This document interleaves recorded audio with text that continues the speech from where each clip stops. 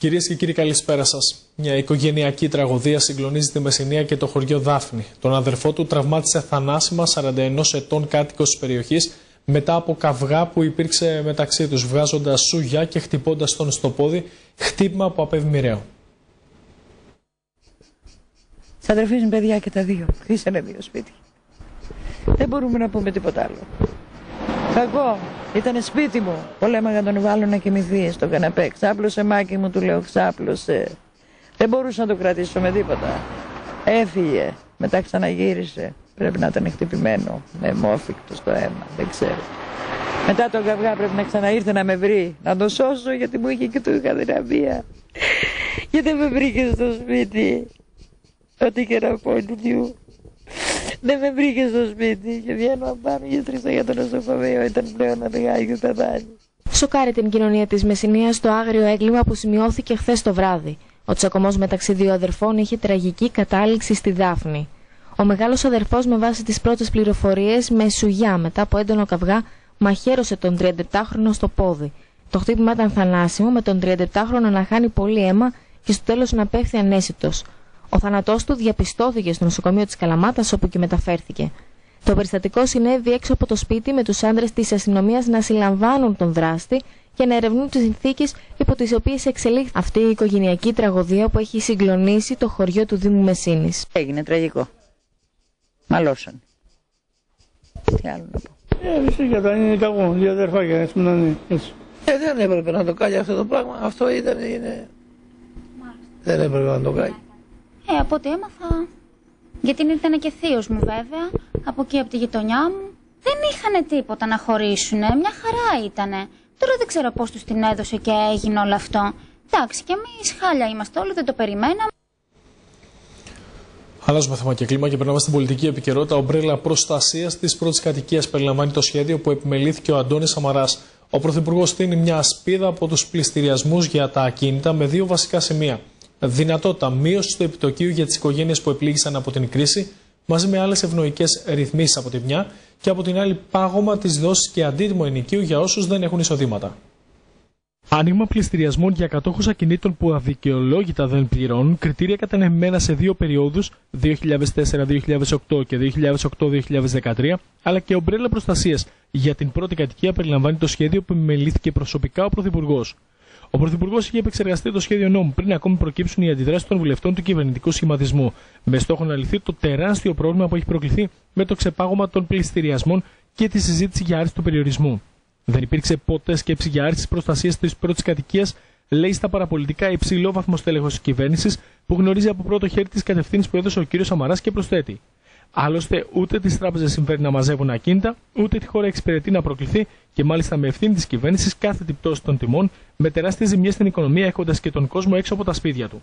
Όπως σημειώνεται στο ρεπορτάζ του Γιάννη Χριστάκου, το σχέδιο αυτό περιλαμβάνει Πρώτον, την αναθεώρηση προστασίας από τον πληστηριασμό όσων ιδιοκτητών ακινήτων ήταν αδικαιολόγητα συνεπείς προκρίσεις. Ειδικότερα το 2004-2005 υπήρξαν ιδιοκτήτες που δεν πλήρωναν τις δόσεις του δανείου τους με αποτέλεσμα μετά την πάροδο του συμβατικού χρονικού ορίου οι τράπεζες να ξεκινήσουν τις προβλεπόμενες διαδικασίες. Οι υποθέσεις αυτές τράβηξαν μακριά και στο τέλος, μετά από απόφαση των δικαστηρίων, μπήκαν σε πρόγραμμα πληστηριασμού ή ένα βήμα πριν βγουν στο σφυρί. Έφτασε όμως το 2008 και όλοι αυτοί οι ιδιοκτήτες ωφελήθηκαν από τον νόμο για την προστασία της πρώτης κατοικίας. Τα συγκεκριμένα κίνητα υπολογίζονται σε πάνω από 25.000 και για αυτά, αφού προηγηθεί έλεγχος τη οικονομικής κατάστασης των κατόχων, θα αρθεί η απαγόρευση των πληστηριασμών. Δεύτερον, για τα κόκκινα δάνεια συνέπεια της οικονομικής κρίσης και της απώλειας εισοδημάτων θα παρέχεται η δυνατότητα ευνοϊκών ρυθμίσεων, αφού πρώτα ελεγχθούν οι πραγματικές οικονομικές συνθήκες του δανειολήπτη. Με τη νέα ρυθμίση θα μπορεί να μειωθεί το επιτόκιο πέραν της επιμήκυνσης την οποία παρέχουν μέχρι σήμερα οι τράπεζες. Μέτρα όπω αυτό θα περιλαμβάνονται στη λεγόμενη του λελογισμένου μικροκουρέματος, με τις τράπεζες όμως να είναι πιο εύκαμπτες στην εξυπηρέτηση των δανειοληπτών που δυσκολεύονται να ανταποκριθούν. Για οικογένειες με δύο ανέργους θα υπάρχει πλήρης προστασία, με πάγωμα του δανείου κατά το διάστημα εισοδηματικής αδυναμίας και αναθεώρηση αυτής της κατάστασης κάθε χρόνο με τα νέα δεδομένα. Βασική μέρημνα για αυτήν την ε, κατηγορία των δανειοληπτών είναι να δίνουν ό,τι μπορούν.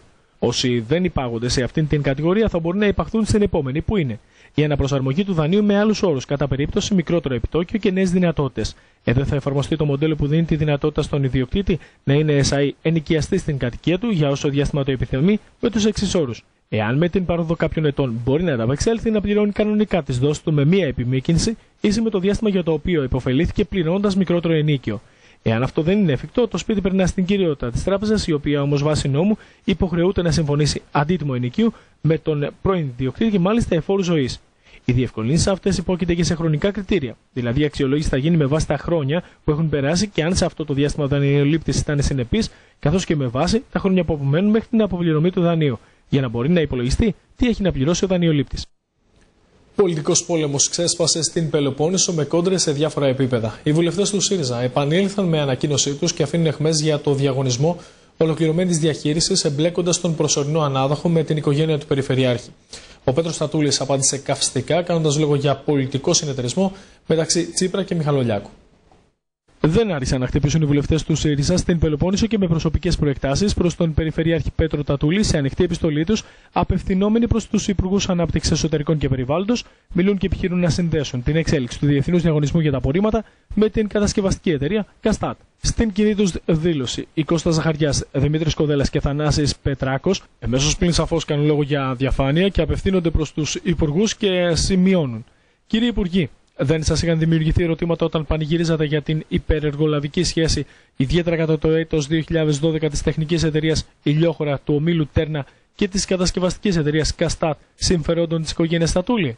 Δεν γνωρίζετε ότι στο ΔΣ της Καστάτ είναι αντιπρόεδρος η κυρία Χρυσταλένη Τατούλη του Πέτρου και πρόεδρος ο κύριος Βασίλειος Τατούλης. Η απάντηση ήταν άμεση από την πλευρά του Περιφερειάρχη, ο οποίος ε, σχολίασε την επιστολή των τριών βουλευτών του ΣΥΡΙΖΑ σημειώνοντας. Τον πόλεμο λάσπης που άνοιξε εναντίον μας, ο αρχηγός της Χρυσής Αυγής στην ΕΜΕΑ συνέχισε σήμερα δια των αντιπροσώπων του ο κ. Τσίπρας. Στο λαϊκισμό των άκρων, η Πελοπόννησος απαντά με την πρωτοπορία της σε όλα τα επίπεδα. Πρώτη, ολοκληρώσαμε μια διαδικασία που στην υπόλοιπη Ελλάδα παραμένει ανοιχτή επί σχεδόν δεκαετίες και γι' αυτό είμαστε περήφανοι. Πρώτη, δείξαμε το δρόμο. Πρώτη, δημιουργήσαμε το μοντέλο. Πρώτη, καθαρίζουμε την περιφέρειά μας προκειμένου τα χρήματα των πολιτών να μην καταλήγουν στις βαθιές τσέπες των γνωστών επιτιδίων, στον κουβά της διαπλοκής ο κύριος Τσίπρας και ο κύριος Μιχαλολιάκος δεν θα αναγκάσουν το λαό της Πελοποννήσου να μένει με το κεφάλι χωμένο στη μιζέρια με τα φθηνά του κολπάκια. Δεν τους κάνουμε το χατήρι. Ούτε το παρακράτος, ούτε η μαφία των εργολάβων των σκουπιδιών έχει θέσει την Πελοπόννησο. Ούτε ασφαλώς και οι πολιτικοί τους εκφραστέ. Και ας τρομάζουν όσο θέλουν τα πολιτικά συνεταιράκια που προστρέχουν σήμερα ξεδιάντροπα στην κυβέρνηση που οι ίδιοι σε κάθε τους λέξη επιχειρούν υβριστικά να αποδομούν. Όμω η όλη κόντρα πέραν των πολιτικών έχει και αυτοδιοικητικές προεκτάσεις και αναφορά στο μέτωπο της Δίνας Νικολάκου με τον Παναγιώτη Νίκα. Η δηλώση του Προέδρου της ΠΕΔ και Δημάρχου Καλαμάδας για το κόστος διαχείρισης και περί εκτόξευσής του οδήγησαν στην σκληρή ανακοίνωση από την πλευρά της Αντιπεριφερειάρχη. Η κυρία Νικολάκου χαρακτήρισε τον κύριο Νίκα πολιτική σου πια, σημειώνοντας πως παραπληροφορεί τους πολίτες. Τα απορρίμματα, η διαχείριση των απορριμμάτων στοιχίζει περί τα 85 ευρώ τον τόνο. 59,60 συν 15 τουλάχιστον μεταφορά, συν 13% ΦΠΑ στο 15 και στο 59,6. Κάπου εκεί βγαίνει, τουλάχιστον. Η δήλωση αυτή του Δημάρχου Καλαμάτας για το κόστος διαχείρισης των απορριμμάτων με αφορμή και την εξέλιξη του διαγωνισμού της περιφέρειας άναψε κυριολεκτικά φωτιές. Η Αντιπεριφερειάρχης Πελοποννήσου Ντίνα Νικολάκου ύψωσε τους τόνους και απάντησε χθες με μια σκληρή ανακοίνωση. Σε αυτήν σημειώνεται. Την ώρα που σύσσωμη η πολιτική ηγεσία της χώρας με την Περιφέρεια Πελοποννήσου παρουσιάζουν με περηφάνεια στην Ευρωπαϊκή Ένωση το πρώτο ολοκληρωμένο έργο διαχείρισης απορριμμάτων με ΣΔΙΤ στη χώρα μας, το οποίο αποτελεί πλέον πρότυπο εθνικό μοντέλο, κάποιοι συνεχίζουν στον τρίτο κοσμικό τους δρόμο. Με κατασπατάληση των δημοτικών τελών και ύποπτες κατά εξακολούθηση αναθέσεις σε υπόδικους μεταφορές σκουπιδιών και εικόνες απαράδεκτες για την πόλη της Καλαμάτας δείχνουν να μην έχουν πάρει τα μηνύματα των πολιτών. Ο κ. Νίκας επιστρατεύει και τον λαϊκισμό, το τελευταίο όπλο των απελπισμένων πολιτικάντιδων περί δίθεν ανάγκης αύξησης των δημοτικών τελών. Η αδυσόπιτη γι' αυτόν αλήθεια είναι ότι με τη σύγχρονη και οικολογική διαχείριση των απορριμμάτων το κόστος διαχείρισης μειώνεται σημαντικά. Και αυτό το όφελος πρέπει να επιστραφεί άμεσα στους πολίτες με μείωση των δημοτικών τελών. Ο κ. Νίκας πρέπει επιτέλους να μάθει ότι στην περιφέρεια Πελοποννήσου θα επικρατεί αταλάντευτα η απόλυτη νομιμότητα. Στεκόμενη στην συνέχεια για τα όσα εξελίχθηκαν με την μεταφορά των ε, σκουπιδιών αλλού, η κυρία Νικολάκου επικρίνει τις ενέργειες του Δημάρχου, σημειώνοντας. Ο κύριος Δήμαρχος μας έχει συνηθίσει από πολύ παλιά ως πολιτική σου πια να απλώνει μελάνη, προκειμένου να καλύψει τις διφορούμενες και αντικρουόμενες κάθε φορά πολιτικές του επιλογές. Από τη μία διατείνεται ότι στηρίζει την κυβέρνηση και από την άλλη αμφισβητεί σχεδόν καθημερινά τις επιλογές της. Από τη μια συγχαίρει την περιφέρεια Πελοποννήσου για τη λύση στο θέμα των απορριμμάτων και από την άλλη παραπληροφορεί τους πολίτες για δίθεν αύξηση του κόστους. Και σήμερα, μέσα στην απόλυτη πολιτική παραζάλη και τρικυμία του, αναζητά δεκανία από όπου και αν αυτά μπορούν να βρεθούν, δίχως σχέδιο, δίχως προσανατολισμό και δυστυχώς δίχως όραμα για την πόλη μας. Η Καλαμάτα, καταλήγει η κυρία Νικολάκου, πρέπει και θα γίνει η πρώτη ευρωπαϊκή πόλη αηφορίας της περιφέρειας Πελοποννήσου. Αυτά τα ζητήματα που ανέβασαν το πολιτικό θερμόμετρο στην περιφέρεια Πελοποννήσου αλλά κυρίαρχα στο Δήμο Καλαμάτα σχολιάστηκαν στο κεντρικό δελτίο ειδήσεων της τηλεόρασης Best. Οι προεκτάσεις τους φυσικά πολλές πολιτικές και όχι μόνο. Ότι αυτή η δήλωση του κύριου Νίκα, η οποία με πρωτοσέλιδό τη σήμερα ο ιδιοκτήτης της Μεσσηνίας και της πόλης θέλησε να κάνει την τρίχα τριχιά, και με το δίκιο του βέβαια, γιατί κακά τα ψέματα, το ένασμα και, και, και, και αυτό του το έδωσε ο κύριος Νίκας, μας λέει ότι ε, κατά κάποιο τρόπο ότι, ότι ο κύριος Στατούλης μας, μας, δουλεύει, μας δουλεύει όλους όπως το λέει αυτό το πράγμα. Και αυτό το πράγμα από ό,τι καταλαβαίνεις έχει, σηκώσει, έχει δημιουργήσει μεγάλη αντίδραση στην κυβέρνηση. Διότι η παρουσίαση της Τέρνα και η παρουσίαση όλης αυτής της κατάστασης με τα σκουπίδια ήταν παρουσία τεσσάρων κορφαίων υπουργών. Να, να, να τους ξαναθυμίσω. Του κύριου Μιχελάκη, του κύριου Χατζηδάκη, του κύριου Μηταράκη και του κύριου Μανιέτη. Δηλαδή όλοι, και του, και του κοινωνικού γραμματέα. Δηλαδή όλοι οι κύριοι αυτοί ήταν ηλίθιοι και ο κύριος Νίκας ξαφνικά ε, ανακάλυψε το αυγό του Κολομβού. Δεν το καταλαβαίνω αυτό το πράγμα. Και για να συνεχίσω για σε αυτό το πράγμα που λέω, λύση λέω, ξαναλέω, η μία λύση η οποία συζητάνε που δεν ξέρω πώς θα πάνε τα σκουπίδια, ε, ούτε ειδικό σήμερα δεν ξέρω πώς θα πάνε. Η μία λύση είναι η ενδεδειγμένη λύση, η λύση η οποία δεν επιβαρύνει το περιβάλλον, η λύση η οποία είναι η νόμιμη και αυτό που κάνει ο κύριος Νίκας δεν μας έχει πει ποτέ που πάνε τα σκουπίδια. Αν και τον έχει ρωτήσει για την πολίτευση πολλές φορές. Οπότε μην, κρύβω, μην κρύβεται πίσω από το δάχτυλό του. Ας βγει να μας πει που πάνε τα σκουπίδια. Εδώ πέρα τους πιάσανε με τα σκουπίδια της Μεσσηνίας, τους πιάσανε μέχρι στη Λαμία. Αφνικά, ενώ είχαμε δει το Δήμαρχο να, να συμφωνεί με τις ενέργειες του διαγωνισμού, διεθνούς διαγωνισμού και με την, με την εκδήλωση που έγινε με την ανακήρυξη του προσωρινού μειοδότη στην Τρίπολη και να δίνει για πρώτη φορά συγχαρητήρια στον Τατούλη των τεσσάρων υπουργών ξαφνικά βλέπουμε να τίθεται το θέμα από το παράθυρο αυτός που εξόρκιζε τους εργολάβους μέχρι που έφτασε να πέσει στην αγκαλιά τους αυτή τη στιγμή η κατάσταση είναι ανεξέλεκτη και δεν μπορώ να καταλάβω, εγώ υποψιάζομαι ότι υπάρχουν πολιτικοί λόγοι πίσω από τις δηλώσεις του Δημάρχου σε σχέση με τις ε, αντιπαραθέσεις και με τις διαφοροποιήσεις που έχει για άλλα ζητήματα ή για γενικότερα ζητήματα με την περιφέρεια Πελοποννήσου. 6 εκατομμύρια ευρώ οδεύουν προς τον πρώτο βαθμό αυτοδιοίκησης με βάση τα όσα ανακοίνωσε και προωθεί το Υπουργείο Εσωτερικών. Βασικός στόχος είναι η αναβάθμιση των υπηρεσιών των Δήμων μέσω της διοικητικής μεταρρύθμισή τους με τεχνικά δελτία έργων και δράσεων. Τα τεχνικά δελτία έργων και δράσεών τους που έχουν ως αντικείμενο την μεταρρύθμιση της πρωτοβάθμιας τοπικής αυτοδιοίκησης και την αποδοτική λειτουργία των Δήμων, υπέγραψε ο Υπουργός Εσωτερικών Γιάννης Μιχελάκης. Σύμφωνα με σχετική ανακοίνωση, με τον τρόπο αυτό το Υπουργείο Εσωτερικών συνδράμει στην αύξηση της απορροφητικότητας του προγράμματος Διοικητική Μεταρρύθμιση, ενώ παράλληλα βοηθάει την τοπική αυτοδιοίκηση να εξυγχρονιστεί, να περιορίσει το κόστος λειτουργίας και να αυξήσει τα έσοδα. Η χρηματοδότηση αυτή θα προέλθει από κονδύλια του ΕΣΠΑ και σε πρώτη φάση προπολογίζεται σε 6 εκατομμύρια ευρώ.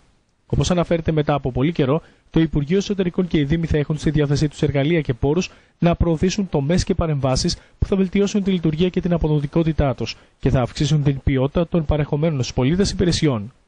Οι δράσεις αυτές αποτελούν μέρος του ολοκληρωμένου σχεδιασμού για την μεταρρύθμιση τοπική αυτοδιοίκηση και προωθούν συνέργειες που εκτείνονται και στην επόμενη προγραμματική περίοδο. Μετά από διαβίλωση του Υπουργείου Εσωτερικών και της ΣΚΕΔΕ, ιεραρχήθηκαν οι θεματικοί τομείς και οι κρίσιμες λειτουργικές περιοχές των Δήμων, οι οποίες απαιτούν εισαγωγή μεταρρυθμίσεων ή χρήζουν υποστήριξη εφαρμογής αναδιοργανώσεων, ανασχεδιασμού και απλούστευσης διαδικασιών, επισημαίνεται. Οι κυριότερες επιλογές που εντάχθηκαν στα τεχνικά δελτία αφορούν στην απλούστευση και ηλεκτρονικοποίηση των οριζόντιων λειτουργών των Δήμων, που περιλαμβάνουν τον προγραμματισμό, την οικονομική διαχείριση, την ανάπτυξη ανθρωπίνου δυναμικού, την παραγωγή τεχνικών δελτίων. Στη δημιουργία βάσεων δεδομένων και πλατφόρμας για την τοπική αυτοδιοίκηση, το λεγόμενο παρατηρητήριο. Στην αξιοποίηση της ακίνητης περιουσίας των Δήμων στην εισαγωγή διαδικασιών εσωτερικού ελέγχου, στη δημιουργία κοινής αρχής αναθέσεων προμηθειών, στη βελτίωση της αποτελεσματικότητας επιβολής, βεβαίωσης και ίσπραξης των τοπικών δημοτικών εσόδων καθώς και των εσόδων των δημοτικών λιμενικών ταμείων, στην αναβάθμιση των δημοτικών κοινωνικών υπηρεσιών, στην υποστήριξη των μικρών νησιωτικών δήμων, των φορέων διαχείρισης εταιριών αποβλήτων και των πολεοδομικών υπηρεσιών και στην εγκατάσταση φωτοβολταϊκών συστημάτων για τον εξυγχρονισμό της διαχείρισης των δημοτικών δικτύων, οδοφωτισμό αλλά και τη ίδρυυση αποχέτευση. Αλλάζουμε θέμα και κλίμα. Ξεχωριστή ημέρα για τη Ζάκυνθο. Στο υπέροχο νησί του Ιωνίου βρέθηκαν χιλιάδες πιστών τιμώντας τον πολιούχο του. Την εορτή του Αγίου Διονυσίου είχατε δυνατότητα να παρακολουθήσετε μέσω της τηλεόρασης ΒΕΣ εικόνα που έφτασε δορυφορικά παντού.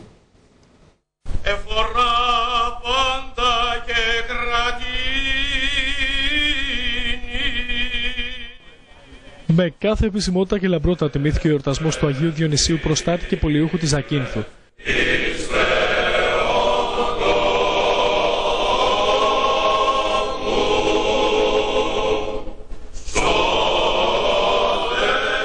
Ο εορτασμός κορυφώθηκε σήμερα με το αρχιερατικό συλλήτουργο για την μετακομιδή του ιερού σκηνώματος του Αγίου Διονυσίου από τα στροφάδια στη Ζάκη.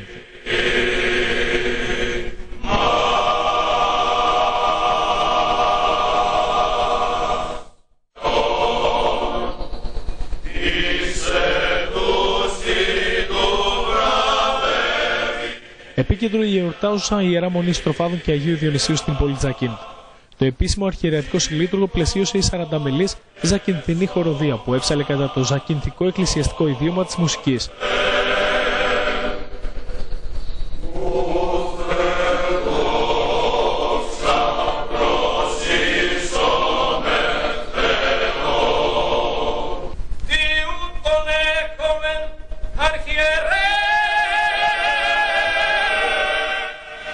Πιστοί όπως κάθε χρόνο έτσι και φέτος συνέρευσαν στο υπέροχο νησί του Ιωνίου με την εικόνα του εορτασμού και της ομορφιάς του τόπου να μεταδίδεται τηλεοπτικά παντού στην Ελλάδα μέσω της συνεργασίας περιφερειακών τηλεοπτικών σταθμών και δορυφορικά σε όλο τον κόσμο αλλά και διαδικτυακά μέσω του live streaming του site μας.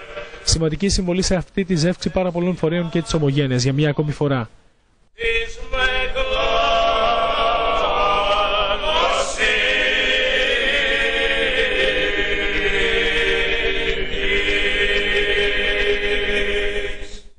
Εγώ είμαι η θύρα, διεμού εάν της εισέρθει σωθήσετε.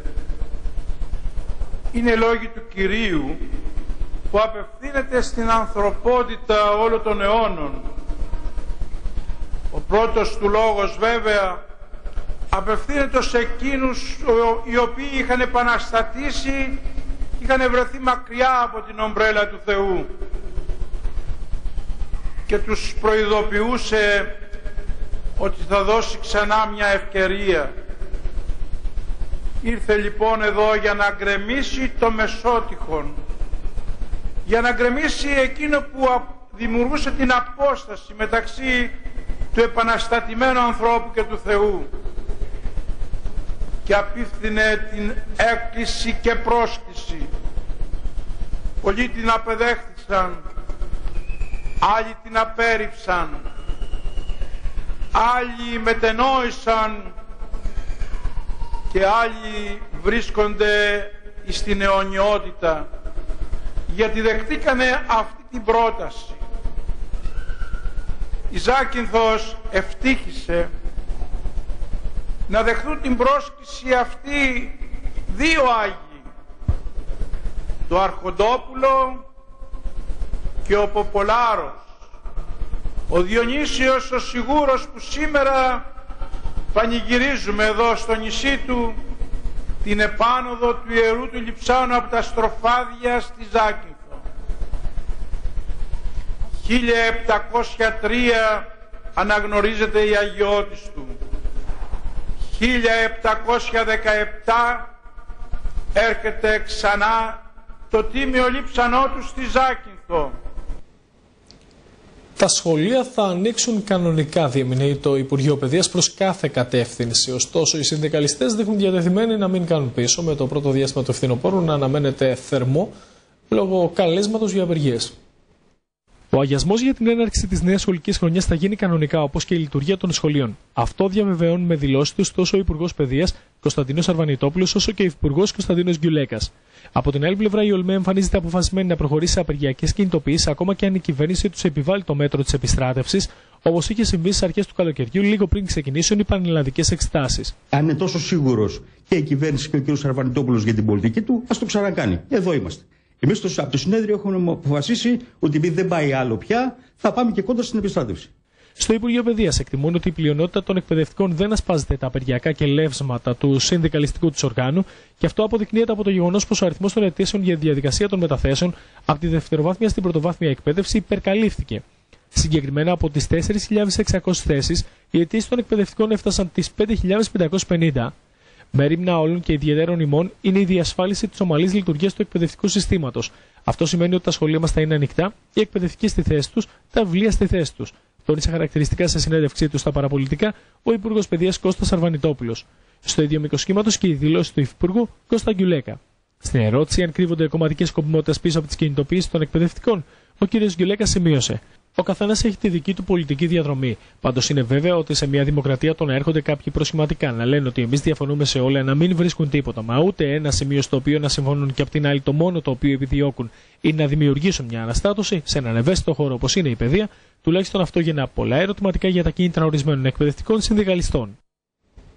Αλλά σε απασχόληση αναμένεται να έρθει καθώς οδεύουμε προς την υλοποίηση του προγράμματος κοινοφιλούς απασχόλησης. Αυτό θα αφορά διάρκεια 5 μηνών και το ενδιαφέρον είναι ήδη έντονος στους Δήμους προκειμένου να καλυφθούν τα όποια και να καταγράφονται.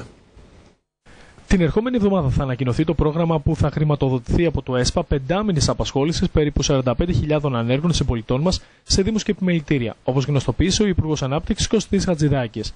Πρόκειται για το πρόγραμμα κοινοφελούς εργασίας για ανέργους, για το οποίο αναμένεται να διατεθούν έως το τέλος του έτους 170 εκατομμύρια ευρώ για δικαιούχους μέλη οικογενειών που δεν έχουν κανένα εισόδημα.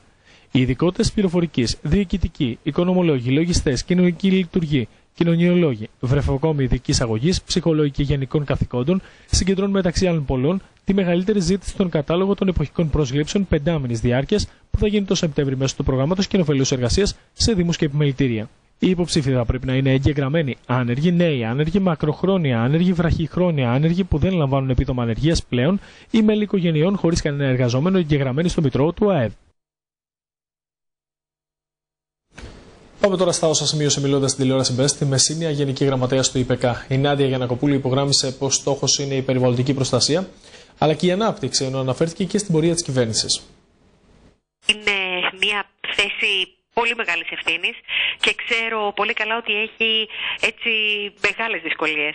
Ε, τα ζητήματα του περιβάλλοντος, η προστασία του, η διαχείριση των αποβλήτων, η υδάτινη πόρη ε, και η άμεση αντιμετώπιση τους είναι όντως καυτά θέματα, καυτές πατάτες ε, και τα περισσότερα ζητούν άμεσες λύσεις.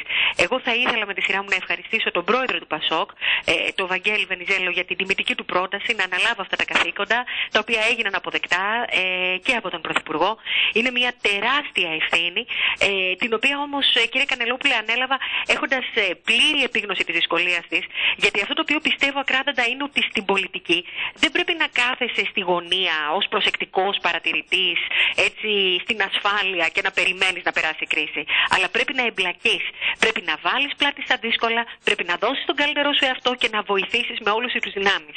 Τώρα από εκεί και πέρα, όλοι γνωρίζουμε πάρα, πάρα πολύ καλά ότι υπάρχουν πολλά ανοιχτά θέματα στον τομέα του περιβάλλοντος και τα οποία εγώ θέλω και θα επιδιώξω να έχω την καλύτερη δυνατή συνεργασία με όλους τους αρμόδιους φορείς για να δώσουμε λύσεις.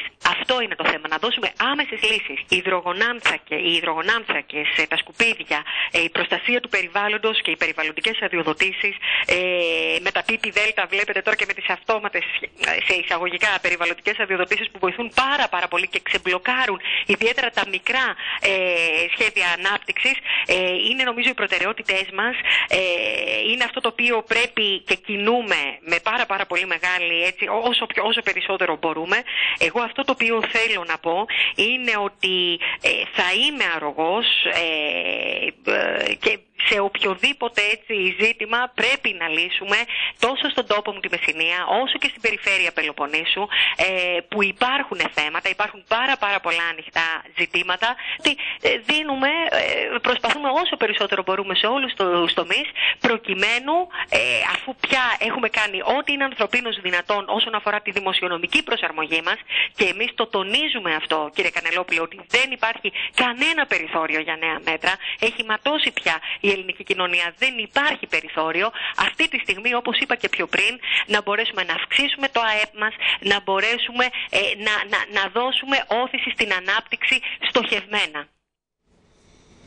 Σημαντική είναι η αναβάθμιση του νοσοκομείου Μεσσηνία. Τα ιατροτεχνολογικά μηχανήματα συνεχίζουν να καταφθάνουν ώστε να καλυφθεί το όποιο κενό υπήρχε. Παράλληλα, στο δυναμικό θα προσθεθεί και νέο προσωπικό. Δύο γιατροί με ειδίκευση στο μαγνητικό τομογράφο.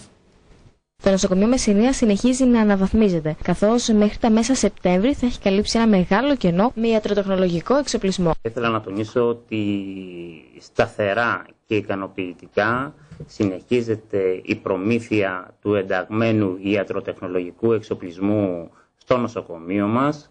Μέχρι αυτή τη στιγμή το νοσοκομείο έχει παραλάβει σημαντικά ιατρικά μηχανήματα συνολικού προϋπολογισμού περίπου στα 2,5 εκατομμύρια ευρώ και στο επόμενο 1,5 μήνα με 2 μήνες θα παραλάβει ακόμα ε, ιατροτεχνολογικό εξοπλισμό 1 εκατομμυρίου ευρώ. Θεωρώ ότι όλος αυτός ο εξοπλισμός έρχεται να καλύψει ένα σημαντικό κενό που παρουσίαζε το νοσοκομείο Καλαμάτας και να αναβαθμίσει ακόμα περισσότερο τις υπηρεσίες υγείας που αυτό προσφέρει. Αυτό που αξίζει φυσικά να σημειωθεί είναι ότι πλέον θα ενταχθεί και νέο προσωπικό. Ήδη έχουν προκηρυχθεί αρκετές θέσεις, ενώ στο δυναμικό του νοσοκομείου θα ενταχθούν και δύο νέοι γιατροί που έχουν ειδίκευση στο μαγνητικό τομογράφο. Όμως θέλω να τονίσω το εξής ότι καλός είναι ο ιατροτεχνολογικός εξοπλισμός, αλλά θα πρέπει να προϋποθέτει και ανθρώπινο ιατρικό και νοσηλευτικό προσωπικό. Και σε αυτό το σημείο θέλω να τονίσω ότι αυτή τη στιγμή ε, έχουν προκηρυχθεί από το Υπουργείο Υγείας προκηρύξεις για επικουρικό ιατρικό προσωπικό και μέσα στο Σεπτέμβριο αναμένονται 8 με 9 γιατροί ετήσια ε, ορισμένου χρόνου για, ένα, για διάρκεια σε ενός χρόνου. Θέλω όμως να υπογραμμίσω ιδιαίτερα ότι μέσα σε αυτούς τους γιατρούς δύο θέσεις είναι ακτινοδιαγνωστικής γιατροί οι οποίοι έχουν ειδίκευση στην λειτουργία του μαγνητικού τομογράφου έτσι ώστε να δοθεί οριστικά πια η δυνατότητα στο νοσοκομείο Καλαμάδας να μπορεί αν όχι σε καθημερινή βάση τις περισσότερες ημέρες της εβδομάδας να λειτουργεί ο μαγνητικός τομογράφος και με προγραμματισμένα ραντεβού. Παράλληλα εξετάζεται το νοσοκομείο να παράγει το δικό του οξυγόνο ιατρικής χρήσης. Ε, έχει αξιολογήθηκε θετικά η πρότασή μας μια νέα πρόταση για ένταξη στο ΕΣΠΑ που περιλαμβάνει μέσα την δυνατότητα του νοσοκομείου να παράγει το δικό του ιατρικό οξυγόνο ιατρικής χρήσης. Αυτό γιατί το κάνουμε, διότι κάθε χρόνο το νοσοκομείο Καλαμάτας δαπανά ε, σε τήσια βάση για την προμήθεια του οξυγόνου ιατρικής χρήσης περίπου στα 400.000 ευρώ. Ευελπιστούμε ότι με το νέο χρόνο αυτό το ποσό θα εξοικονομείται και θα μένει στο νοσοκομείο προκειμένου να κατευθύνεται σε άλλους κωδικούς του προϋπολογισμού μας και να αναβαθμίζουμε ακόμα περισσότερο την ποιότητα των υπηρεσιών υγείας που αυτό προσφέρει. Θα περάσουμε τώρα σε κάτι διαφορετικό και στον χώρο της ε, κινητικότητας. Είδαμε νωρίτερα το πώς ε, θα εξελιχθεί το πρόγραμμα που θα έχει αναφορά στην εργασία σε Δήμους. Το μέτωπο που μένει ανοιχτό στον πρώτο βαθμό είναι αυτό της κινητικότητας. Εκεί προτείνεται η διαδημοτική κινητικότητα. Την ε, διαδημοτική κινητικότητα αλλά και την αξιολόγηση των δομών των Δήμων προτείνουν από την πλευρά τους οι εκπρόσωποι του πρώτου βαθμού ώστε να τρέξει το μέτρο χωρίς να υπάρξουν ε, συνέπειες, θα έλεγε κανείς, για την αυτοδιοίκηση. Εμείς οι Δήμαρχοι δεν είμαστε εναντίον της κινητικότητας των υπαλλήλων. Είμαστε εναντίον στην εκδίωξη των υπαλλήλων. Και μάλιστα χωρίς αξιολόγηση. Στην απώλεια της εργασίας τους. Αν κάπου αν κάπου περισσεύουν υπάλληλοι, να μετακινηθούν και να πάνε σε χώρους που ελείπουν, ανάλογα με τα προσόντα τους. Και να γίνει αξιολόγηση με την ε, οριζόντια καρατόμηση και με την κάθε είδους καρατόμηση. Εμείς διαφωνούμε. Τα κενά, όπως σημείωσε ο πρόεδρος της ΠΕΔ Πελοποννήσου, αναφερόμενος και για τον Δήμο Καλαμάτας, είναι αρκετά και τόνισε πως μπορούν να καλυφθούν αυτές οι θέσεις μέσω της κινητικότητας. Ποτέ δεν είπαμε να μην γίνει αξιολόγηση. Ούτε και να μην γίνει μετακίνηση όταν έχουμε πλέον άλσον προσωπικό. Συμμετέχουμε στη διαδικασία τη συγκεκριμένη και υποβάλλεται μέχρι το μεσημέρι έτοιμα από το Δήμο Καλαμάτας να έρθουν εδώ οι υπάλληλοι που κατά το Υπουργείο περισσεύουν σε άλλους τομείς της δημόσιας ζωής, της δημόσιας διοίκησης. Ως παράδειγμα, χρειαζόμαστε βρεφονιπιοκόμους από αυτούς που τίθενται σε διαθεσιμότητα ως παράδειγμα στα επαγγελματικά λύκεια. Ο Δήμος μας χρειάζεται ηλεκτρονικούς, οικονομολόγους, νομικούς. Υποβάλλουμε σχετικό αίτημα μέχρι το μεσημέρι και για το Κεντρικό Δήμο και για τα νομικά πρόσωπα. Αρκετά αυστηρά θα είναι από το χειμώνα τα πρόστιμα για όσους ε, κόβουν ξύλα παράνομα, χωρίς την άδεια του δασαρχείου δηλαδή.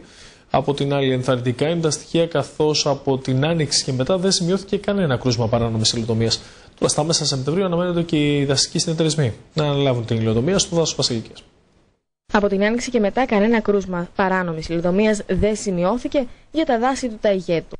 Από την άνοιξη και μετά δεν είχαμε περιστατικά στο βαθμό που είχαμε την προηγούμενη χρόνια. Είχαμε τέσσερα περιστατικά στα οποία μπήκαμε και αφορούσαν κυρίως παράνομη υλοτομία, όχι στα κυρίως δάση τα ηγέτια της Βασιλικής, εκεί δεν είχαμε καθόλου υλοτομία παράνομη.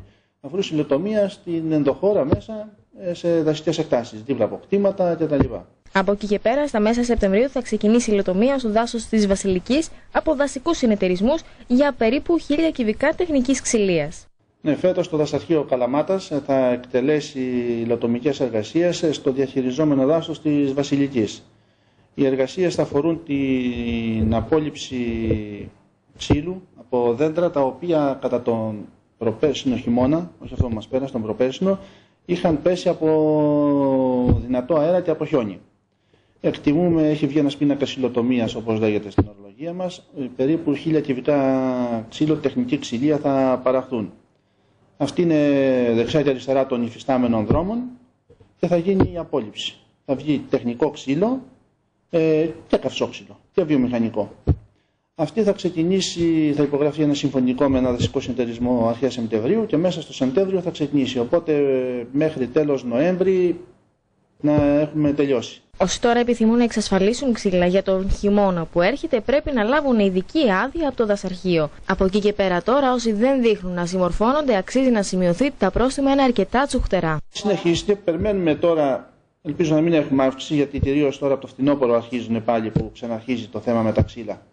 Ε, βέβαια έχει ενημερωθεί ο κόσμος. Πέρσι έγιναν αρκετές αιτήσεις, πάνω από 500 αιτήσεις για να πάρουν ξύλα από το Νταίγετο, από τα κατακείμενα. Γίνανε περίπου άλλες 100 για να πάρουν ξύλα από, από σάπια ή ξερά που ήταν μέσα στις ευρύτερες δασικέ εκτάσεις και πάρα πολλές αιτήσεις για να κόψουν ξύλα οι κάτοικοι μέσα από τα κτήματά τους. Δηλαδή είναι συνειδητοποιημένος ο κόσμος και ρωτάει, γιατί έχουν αυξηθεί και τα πρόστιμα και οι διατάξεις είναι αυστηρέ. Με μια τροποποίηση που έγινε των σχετικών άρθρων το Μάρτιο, ε, τα πρόστιμα είναι αρκετά και υπάρχει κατάσχεση τώρα των μέσων που χρησιμοποιούνται για να κοπούν τα ξύλα του μεταφορικού μέσου. Κατάσχονται οι πινακίδες, η άδεια και, και το δίπλωμα του οχήματος, αυτά τα παραδείγματα στην αστυνομία. Και το αμάξι, οι πινακίδες και, το... και η άδεια δίνονται στον ενδιαφερόμενο όταν γίνει δίκη και αφού το δικαστήριο του τα αποδώσει, το δε δίπλωμα κυκλοφορίας αποδίδεται στον ενδιαφερόμενο αφού πληρώσει ένα διοικητικό πρόστιμο που το επιβάλλεται που είναι το πενταπλάσιο της αξίας. Δηλαδή, αν η αξία έκανε τα ξύλα που έκοψε 100 ευρώ, του επιβάλλεται ένα διοικητικό πρόστιμο 500 ευρώ και αφού το πληρώσει αυτό, μετά από τρεις μήνες έχει δικαίωμα να πάρει το δίπλωμα. Οπότε είναι πολύ αυστηρά. Έχουμε Πιστεύω να συνεργαστούμε. Φέτος ε, θα γίνει αιτήσεις για απόλυψη ξύλου όπως προβλέπει η ρυθμιστική ε, τέλος ε, Νοεμβρίου με 10 Οκτωβρίου, θα μαζέψουμε τι αιτήσεις είναι. Ε, θα δώσουμε πάλι ξύλα του Νταγετό από τα ξερά και από τις λοτομίες που γίνανε και ευελπιστούμε να, να πάμε καλά. Μια σειρά από έργα εξελίσσονται από την ΔΕΙΑΚ με στόχο την αξιοποίηση δικών της, αλλά κυρίως πόρων του ΕΣΠΑ και την αναβάθμιση των υποδομών. Ξεχωρίζει αυτό της επέκτασης ε, και του εξυγχρονισμού του βιολογικού καθαρισμού. Μετά το έργο που αφορά την αντικατάσταση 57 χιλιόμετρων αγών ίδρυυσης στην πόλη της Καλαμάτας και μπαίνει σε τροχιά υλοποίησης, μέσα στο Σεπτέμβριο αναμένεται να ξεκινήσουν οι εργασίες και για την αναβάθμιση και επέκταση του βιολογικού καθαρισμού. Ένα έργο που μέσω του ΕΣΠΑ φτάνει τον προπολογισμό των 5.245.000 ευρώ. Ε, που εδώ πλέον έχουμε και μια αρκετά μεγάλη συμμετοχή και της ΔΕΙΑΚ όπως το προηγούμενο έργο είχαμε 764.000 ευρώ σε αυτό θα έχουμε 413.000 ευρώ ε, παραδίδονται τώρα από τον ε, κατασκευαστή ε, οι μελέτες εφαρμογής Ευελπιστούμε πλέον τμηματικά έχουν μείνει, τις έχει ήδη παραδώσει ένα μεγάλο κομμάτι και το μόνο το οποίο έχει μείνει είναι νομίζω ένα τμήμα που αφορά την οριστική μελέτη, το οποίο το περιμένουμε και έτσι αρχές Σεπτέμβρη, το πρώτο δεκαήμερο, θα ξεκινήσουν και γι' αυτό οι εργασίες. Από την πλευρά του Προέδρου της ΔΙΑΚ σημειώθηκε πως ήδη είναι έτοιμη και η μελέτη για την επέκταση του δικτύου αγαθάρτων μέχρι τη Θουρία και τα Λέικα. Ε, αυτό το έργο αφορά την επέκταση του δικτύου ακαθάρτων στην ε, τοπική κοινότητα Θουρίας μαζί και ένα τμήμα των, ε, της τοπικής κοινότητας των Λεϊκών. Όπως καταλαβαίνετε αυτό το έργο είμαστε έτοιμοι μελετητικά. Θα υποβληθεί τέλος της άλλης εβδομάδας και αρχές της μεθεπόμενης, δηλαδή αρχές Σεπτέμβρη, στο Υπουργείο και για να έχουμε οριστική ένταξη για να μπορέσουμε και αυτό να το υλοποιήσουμε. Ο κ. Καραγιάννης στην συνέχεια αναφέρθηκε σε μια σειρά έργων που βρίσκονται σε εξέλιξη ή έχουν δρομολογηθεί και αφορούν κυρίως παρεμβάσεις ίδρυυσης και αποχέτευσης στις δημοτικές ενότητες. Την ολοκλήρωση του Α6 που έχουμε σημαντικά αποτελέσματα στη γύρω γειτονιά, η οποία είχε ε, πάρα πολλά προβλήματα όσμωσης γενικότερα από τα κάθαρτα. Ένα έργο 209.000 ευρώ το οποίο αποπερατώθηκε. Τώρα πλέον προχωράμε να κάνουμε μια μικρή περίφραξη κατά μήκος του δρόμου που κατεβαίνει, ώστε πλέον και να διαφυλάξουμε το χώρο και παράλληλα να μπορέσουμε εκεί ε, να έχουμε και να αναβαθμιστεί η περιοχή γενικότερα με παρεμβάσεις οι οποίες θα γίνουν μαζί με την υπηρεσία πρασίνου. Τέλος θα πρέπει να σημειωθεί πως η ΔΕΙΑ Καλαμάτας βρίσκεται στην αναμονή προκειμένου να ενταχθεί στο ΕΣΠΑ και το άλλο ζήτημα που έχει να κάνει με την επεξεργασία της λιματολάσπης.